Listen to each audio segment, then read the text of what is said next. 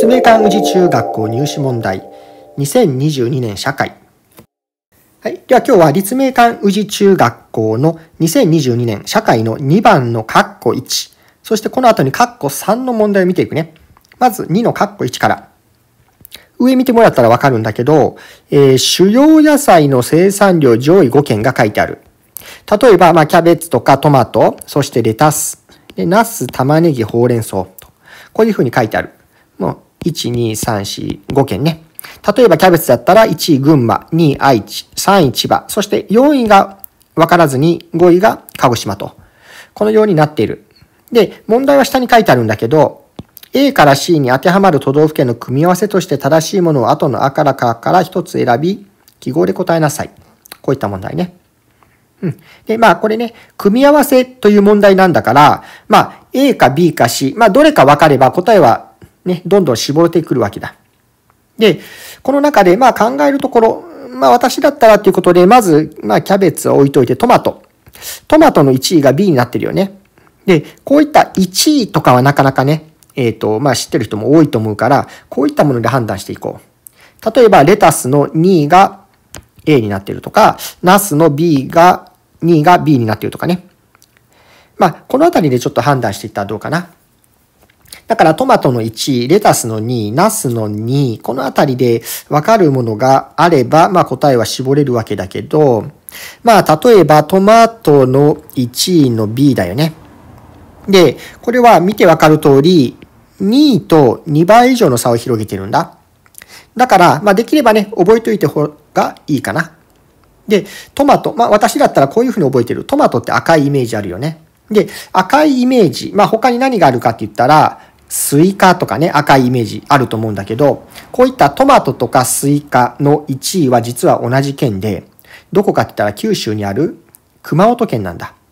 だから熊本県ね、赤いものが有名だな。例えばトマトとかスイカだな、みたいな感じで覚えてくれたらいい。で、えー、だからまあトマトの B ね、これが、えー、熊本県ということで、熊本県が書いてあるのが、あかもしくはかだよね。だから答えはこの2択になってくる。あかかのどっちか。で、他にじゃあ A か C でわかるところないかなって探してみたら、例えばだけどこういったものどうかな。玉ねぎの3位が C になってるよね。で、玉ねぎで有名な場所、どこか思いつくとこないかな玉ねぎで有名な場所といえば、淡路島なんだよね。淡路島行ったらね、玉ねぎで、まあ有名なんだけど、淡路島って何県なのかな？淡路島は兵庫県なんだよね。だから C はまあ兵庫県じゃないかなということで見ていったらさっきの赤かのうち C が兵庫になってるのはこちらね。あ。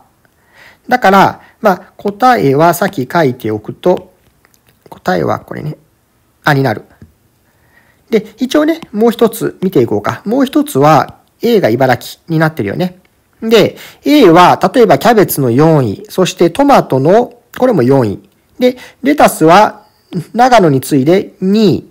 そして、えー、ナスは5位か。で、玉ねぎはなくて、ほうれん草が4位。というふうに結構ね、野菜全般上位に入っているんだよね。で、茨城県って言ったらね、太平洋に面した、まあ、広い平野があるので、まあ、その広い平野でね、やっぱ野菜がたくさん作られてるんだ、みたいな感じで考えておいてくれたらいい。では、次行こうか。2のカッコ3ね。はい。では、今回は、これ、家畜生産上位5都道府県。で、えー、肉用牛、豚、ブロイラーとなってる。で、さっきと同じように上位5県が書いてあって、今回は D と E と F。で、下に問題ね。D から F に当てはまる都道府県の組み合わせとして正しいものを後のあからかから一つ選び記号で答えなさい。まあ、全く同じような問題ね。じゃあ、牛、豚、鳥ね。この3つでえー、わかるもの、どれかなっていうことなんだけど、まあ、例えばね、そうだな、豚、ね、豚で有名なもの何かな？豚は、まあ、黒豚で有名なのが、九州の最南端、鹿児島県。あそこはね、黒豚で有名なんだよね。で、他には、ブロイラー。これで有名な何かな？って言ったら、うん、そうだな。例えばこれはね、えっ、ー、とね、宮崎地鶏とかね、宮崎県。これ有名なんだよね。で、そのあたりで考えたら、さっき言った E とか F だよね。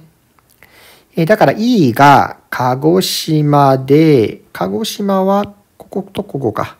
で、F のブロイラーが宮崎って言ったらこちらね。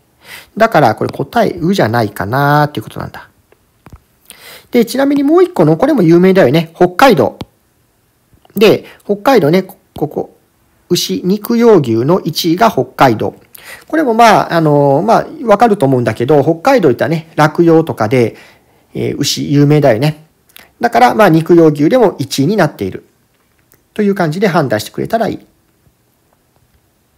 ではね、他にもね、たくさん入試問題解いてるので、チャンネル登録をしてくれたらね、嬉しいです。それでは今日の授業はこれで終わります。